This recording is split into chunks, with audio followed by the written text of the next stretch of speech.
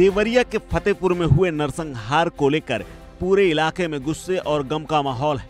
वहीं पुलिस ने सत्य प्रकाश के परिवार को खत्म करने वाले प्रेमचंद यादव के समर्थकों को गिरफ़्तार कर लिया है, लेकिन स्थानीय विधायक का गुस्सा कम होने का नाम नहीं ले रहा है। इस बीच देवरिया के बीजेपी विधायक शलभ मणि त्रिपाठी ने कहा है कि बेबस लोगों, बेटियों और मासूम बच्चों पर हमला करने वाले भूमाफिया कायर और नपुंसक हैं। उनका उचित और कानूनी इलाज होकर रहेगा। साथ ही इस मामले में दोषी महाभ्रष्ट, राजस्व अधिकारी, कर्मचारी और प्रशासनिक अधिकारी भी अपनी करनी का फल भुगतने को तैयार रहे। आपको बता दें कि पूर्व जिला पंचायत सदस्य दबंग प्रेमचंद यादव की हत्या के प्रतिशोध में लड़हा के पास सत्य प्रकाश दुबे, उनकी पत्नी और दो बेटियों और एक बेटे की गोली मारकर और पीट पीट कर हत्या कर दी गई थी। अपने फेसबुक पेज पर शलभ मणि त्रिपाठी ने लिखा, मुख्यमंत्री योगी आदित्यनाथ स्वयं इस घटना पर नज़र रखे हुए हैं। मैं प्रमुख सचिव गृह संजय प्रसाद स्पेशल डीजी प्रशांत कुमार और एडीजी गोरखपुर अखिल कुमार के निरंतर संपर्क में हूँ। भूमाफिया और अपराधियों के विरुद्ध निर्णायक जंग लड़ी जाएगी, वो बचेंगे नहीं। चाहे वो किसी भी सियासी सरपरस्ती उन्हें मिली हुई हो।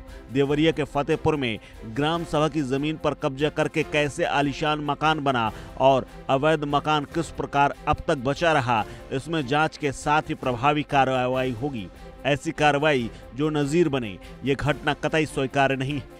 एक और सोशल मीडिया पोस्ट लिखते हुए शलम मणि त्रिपाठी ने कहा, देवरिया फतेहपुर की घटना में इंसाफ को अंजाम तक पहुँचाने के लिए आज स्वर्गीय सत्य प्रकाश दुबे के बेटे देवेश दुबे, समाज के प्रबुद्ध जनों अधिवक्ताओं, वरिष्ठ व नौजवानों के साथ भेंट की। सभी ने घटना पर गहरा कष्ट व्यक्त किया और इस परिवार की पूरी ज़िम्मेदारी उठाने का संकल्प लिया। देवेश ने जो बताया, वो बेहद दर्दनाक हम सबने दुबे परिवार की कानूनी लड़ाई लड़ने का प्रण लिया है। हम सभी को विश्वास है कि माननीय मुख्यमंत्री के नेतृत्व में भू माफिया की कमर तोड़ दी जाएगी और दुबे परिवार को हर हाल में इंसाफ मिलेगा।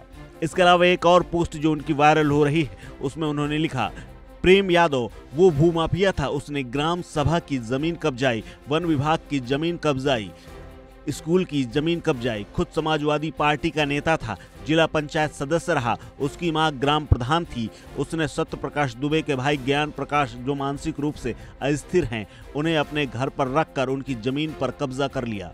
प्रेम यादव के घर में घुसकर सत्य प्रकाश से मारपीट की। उनकी बेटी की इज़्ज़त में हाथ डाले। इसी से उसकी जान गई। क्या ब्राह्मण समाज की बहन बेटियों की कोई भी ऐसे ही ऐरा गहरा हाथ डालकर चला जाएगा? तुम रसूखदार हो तो अपने घर के हो, दूसरों के घर के नहीं। आपको बता दें कि ये पूरा मामला ज़मीन विवाद से जुड़ा हुआ था और सोमवार की सुबह प्रेम यादव बाइक से खेत देखने गए थे। वहाँ पर कुछ गड़बड़ देखने के बाद सीधे सत्य प्रकाश दुबे के दरवाजे पर पहुँचे। वहाँ पहले गाली गलौज हुई और उसके बाद झगड़ा हुआ, जिसमें प्रेमचंद यादव की जान चली गई और इसी के बाद उनके समर्थकों ने सत्य प्रकाश दुबे के पूरे परिवार की जान ले ली। इस खबर में फ़िलहाल इतना ही। अपडेट्स के लिए बने रहिए वन इंडिया हिंदी के साथ।